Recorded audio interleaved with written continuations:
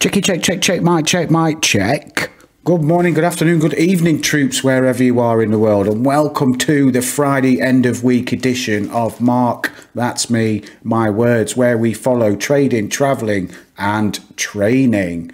Before I do get into this very quick video, please do hit the subscribe button down there if you haven't done so already. Uh, hop on board and say hello in the comments section. So what have we got here then? Friday, Friday, after hours Friday. Uh, what I've done here is I wanted to, um, regular viewers will know that I always encourage taking a bigger picture view. And because today was a red day, uh, I wanted to do the chart like this so you get the bigger picture view uh, from yesterday. Because yesterday, it was phenomenal, wasn't it? We were all getting really excited and rightly so. What we did have yesterday were these uh, steps, step ups, um, which is always good to see. You have a rise, you consolidate, you go up, you consolidate, you go up, you consolidate, you go up, you drop down. No, I'm joking. Uh, listen, uh, pullbacks. So what I've done is I've drawn here, uh, this was yesterday's um, ascending level of support, today's uh, descending level of resistance, which we did break out of about 90 minutes before the close of trading, and then we held that area there.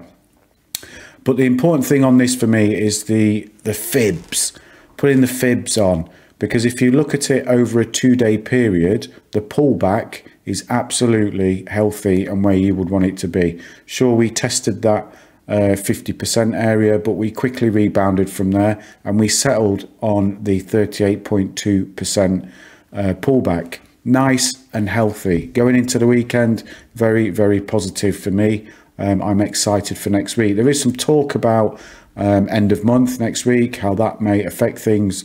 Um, so let's see. I've been away from my computer today, um, so I've not seen any news. I'm going to jump on the news after this uh, and see what's been happening throughout the day.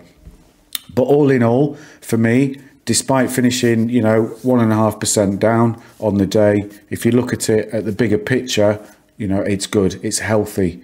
So very, very positive for GameStop. Over to AMC, and I applied the same philosophy here just to give that overall bigger picture view.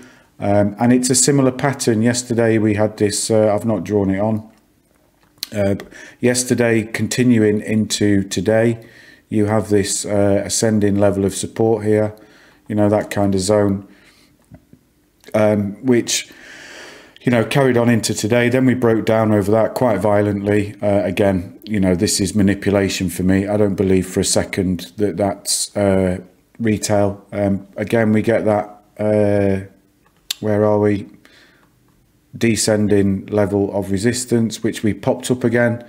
Um, you know, we were going quite nicely. Then we got another manipulative period. We consolidated for a while there, and then we managed to pop back up, and we're sitting pretty on the 50% retracement over two days. So yesterday, again, similar to GME, was a very, very good day price action wise for us bulls, for us diamond hands, for us apes strong together. Um, and the pullback today, in my opinion, perfectly healthy. So that's about it going into the weekend. Uh, like I said, end of month next week. So let's see what that brings, if anything at all. Um, and relax, relax. Look at the bigger picture. Look at the two-day um, chart in there. Uh, and you can see that we are sitting pretty, sitting pretty for the weekend. I do hate the weekends now. I I think for the first time in my life, I look forward to Mondays. Um, not just because of the the meme stocks, but um, you know the the last two years that I've got into trading, the weekends the weekends have become a bit of a bore, to be honest. Um, anyway, that's all I've got for you, troops. So going into the weekend, look after yourselves, take care of yourselves wherever you are. Be kind to each other, and diamond hands. Cheers, troops.